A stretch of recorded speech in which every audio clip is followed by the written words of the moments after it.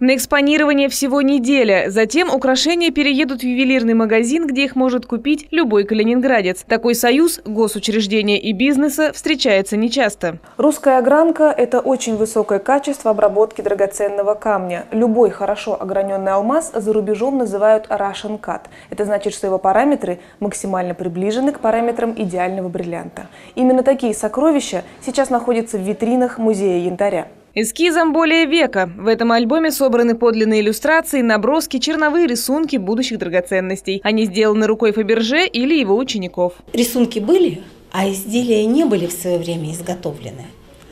Э, сами эскизы хранятся в собрании Государственного Эрмитажа. Рядом с витринами постоянно дежурит охранник. Музей янтаря и сам по себе хранилище драгоценностей, а выставка Фаберже и вовсе должна находиться под неусыпным контролем. 30 июня, в день визита в Калининград Дмитрия Медведева, к витринам подошли высокие гости. Не сам председатель правительства, а губернатор из разных регионов страны с интересом рассматривали убранство залов и стеллажей. А отзыв о шедеврах даже остался в книге почетных визитеров. Для всех желающих выставка открыта еще три дня, до 4 июля, с 10 утра до 19 часов вечера. Цена билета 50 рублей. Антонина Слатвинская, Максим Кириченко, служба новостей «Город».